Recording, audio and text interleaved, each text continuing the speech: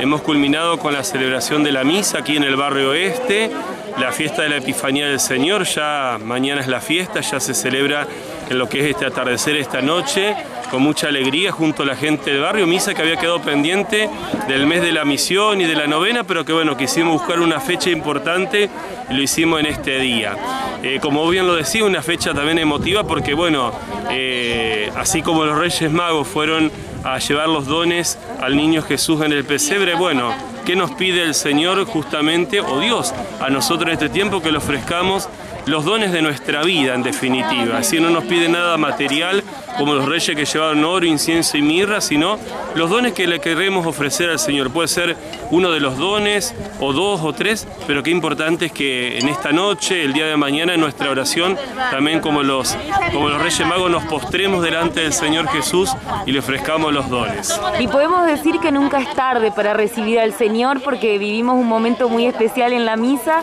donde una señora mayor recibía su primera comunión. Así es, una señora, una abuelita aquí del barrio que fruto de la misión de, del mes de,